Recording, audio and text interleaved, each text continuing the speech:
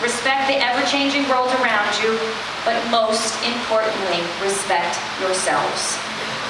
As you enter Ridge, the graduating class of 2014, I leave you with this famous motivational quote, author unknown.